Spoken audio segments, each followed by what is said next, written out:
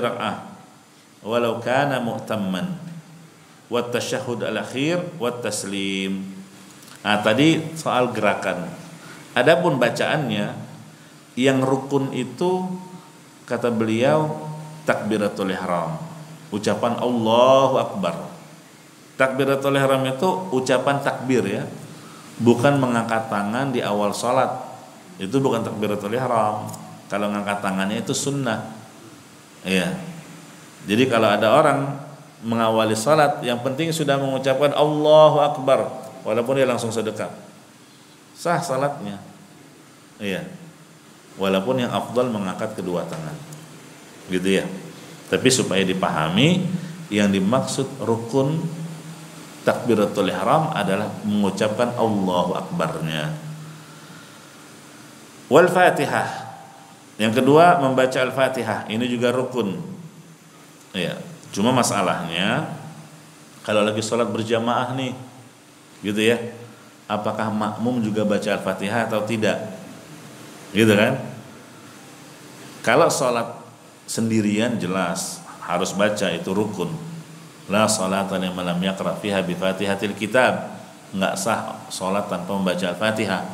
Ini bagi imam atau munfarid. Salat sendirian. Nah sekarang kalau berjamaah dan sebagai makmum kalau salatnya sirriyah seperti zuhur dan asar maka makmum juga baca. Baca sendiri ya. Baca. Nggak cukup mewakili ah katanya kalau sudah berjamaah bacaan makmum tuh diwakilin sama imam. Iya. Oh, enak betul kalau gitu ya kita tinggal bengong aja mikirin gitu lagi tar ada ide apa nih mau meeting lanjutan gitu ya. Kenapa nggak baca? Oh saya bermakmum. Bacaan makmum itu udah diwakili sama imam. Itu nggak ada ya. Nggak ada hadisnya ya. Ada hadis man kana lahu imam faqiratul imamu lahu qiraah Barang siapa yang salat bersama imam maka bacaan imam adalah bacaan bagi makmum, itu hadisnya dhaif, ya lemah. Jadi kalau sebagai makmum dia sholat sir baca. Baca. Walaupun hanya sebagiannya. Misalnya baru baca tiga ayat eh imamnya ruku. Ya sudah ikuti ruku. Dan anda sudah mendapatkan Al-Fatihah walaupun sebagiannya. Gitu ya. Nah, kemudian kalau sholat jahriyah gimana? Maghrib, Isya, subuh, Jumat, Id. Ini kan teraweh, ya. Apakah makmum juga ikut membaca? Ya. Nah, ini yang ada silang pendapat di kalangan ulama. Ada dua pendapat Pendapat yang pertama mengatakan apa eh, makmum juga baca. Apa pendapat pertama mengatakan tidak usah baca makmum. Ya.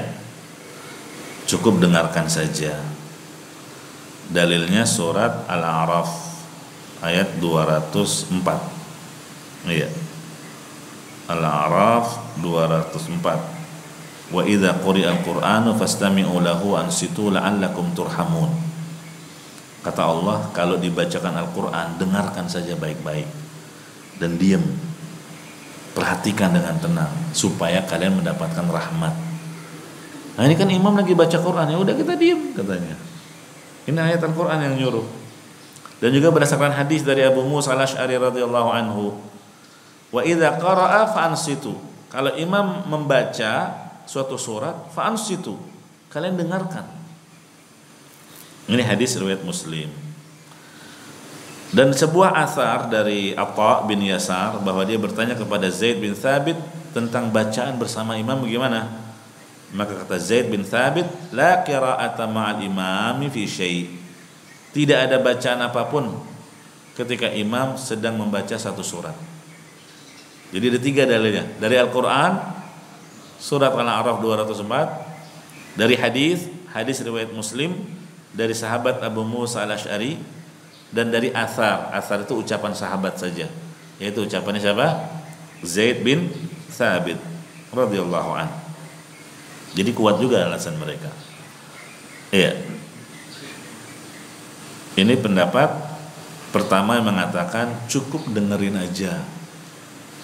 Ya, kalau sholatnya jahriyah. Nah, alasan lainnya apa? Alasannya juga kata mereka karena makmum nggak mungkin bisa mengerjakan dua hal sekaligus. Di saat dia harus mendengarkan bacaan imam, di saat yang bersamaan dia juga harus membaca satu surat. Gitu kan? Gimana? Iya, ini nggak boleh. Dengarkan dengarkan aja, gitu kan? هذا صراط مستقيم.